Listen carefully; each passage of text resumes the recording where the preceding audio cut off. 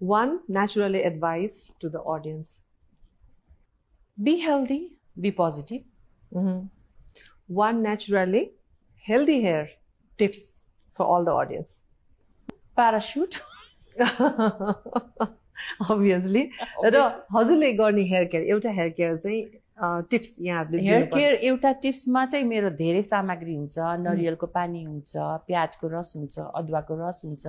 मेथी अनि यो करी पत्ता भिजाएर चाहिँ म राति राख्छु अनि एक महिनालाई पुग्ने गरी त्यसलाई चाहिँ म एउटा सिरम जस्तो बनाउँछु वाटर स्प्रे बोटलमा राखेर फ्रिजमा राख्छु रेफ्रिजरेटर नुहाउनु भन्दा नुहाउनुभन्दा अगाडि जहिले पनि म जरामा स्प्रे गर्छु अनि दस पन्ध्र मिनट छोडेर अनि नुहाउन जान्छु ओके त्यसले चाहिँ कपाल कपाल चाहिँ यस्तो कपालको क्वान्टिटीलाई ग्रो गर्छ र एकदम रुट्सलाई मजबुत गर्ने भएपछि त्यसमा कुनै ड्यामेज पनि भएन र हेल्दी पनि भयो। हेयर फल पनि कन्ट्रोल भयो। Okay thank you so much rapid fire question चाहिँ रमाइलो. आन्सर गर्नुभयो र प्यारासुट नेचुरली स्याम्पूको तर्फबाट हाम्रो छोटो मिठो गफ सँगसँगै यो गिफ्ट हजुरको लागि thank you so. Much for coming दिजु thank you so much at the end म चाहिँ हाम्रो प्यारासुट नेचुरली छोटो मिठो कुराकानीलाई चाहिँ धेरै धेरै धन्यवाद दिन चाहन्छु। आज मलाई यो अपर्च्युनिटी दिनुभयो जहाँ दिदी बहिनीहरू रुवाबासी पनि भयो त्यसको लागि सरी पनि भन्न चाहन्छु।